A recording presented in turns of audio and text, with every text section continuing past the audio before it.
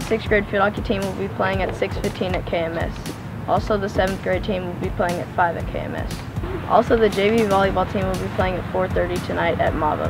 Tomorrow, the football team will be playing at 9 in the morning against Cal. Come out and support your KMS athletes and coaches. This weekend will be sunny with the highs in the 90s and the lows in the 70s. The summer equinox is Thursday, September 22nd at 10:21 a.m. When the sun shines on the equator, the day and the night is nearly equal. The equinox is the moment the sun crosses the celestial equator. Okay. It's getting cold outside. Get your blankets out.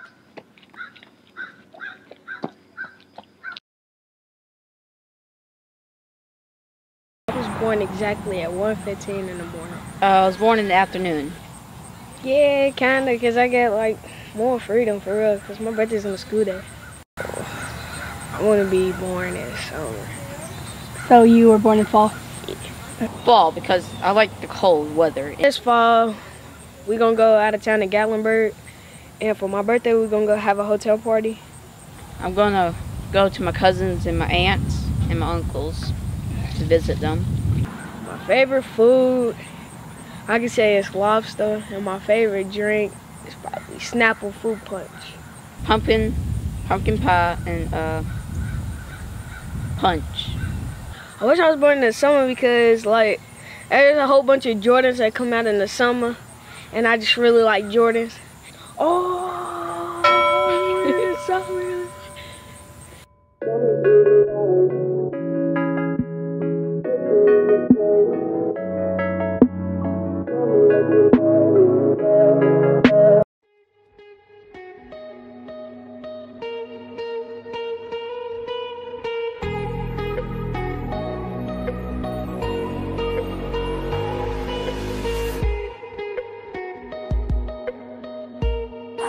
I'm Isabel Goddess and I run cross country for Kammerer Middle School.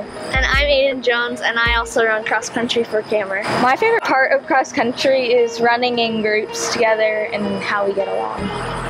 My favorite part of cross country is getting to be out in nature and like it's just really pretty and fun. We have been running 1.86 um, in our meets, but we have one coming up that's 2.5 miles. Those are 3Ks and 4Ks. Isabel's doing really good, guys. She's doing amazing. Mine have been good. I feel like I'm gonna keep doing better. Yes. I feel like we work together at practices because we stay in our groups, try and help each other, and um, we cheer each other on. We're encouraging.